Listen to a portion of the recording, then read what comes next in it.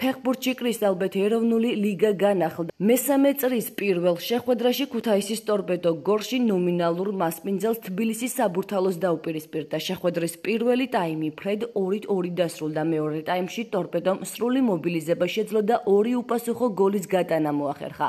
მოპოვებული სამი ქულით ტორპედომ გათამაშების ცხრილში მეექვსე ადგილზე გადაინაცვლა. მომდევნო შეხვედრას ტორპედო 21 აგვისტოს ზესტაფონში თბილისის ლოკომოტივთან გამართავს. პირველ რიგში გავიმარჯვეთ, რაც თავარია, იყო პირველ მომენტში მომენტები, როდესაც მომენტი, როდესაც ცოტა უკან ჩაგვაჯინა საბურთალომ, ეს წინასარ ნამდვილად არ იყო განზრახული და შეგვიქნეს უპირატესობა და ამიტომაც მივიღეთ ის ორი ბურთი. მეორე ტაიმში ცოტა ამოვწიეთ თამაში, ცდილობდით რომ ზემოთ პრესინგი გვეთამაშა, მე მინდა მადლობა უთხრა ბიჭებს, მიულოცო ეს გამარჯვება და ასევე ჩვენს გულშემატკივრებს მიულოცავ და საბურთალოს მინდა წარმატება უსურვო.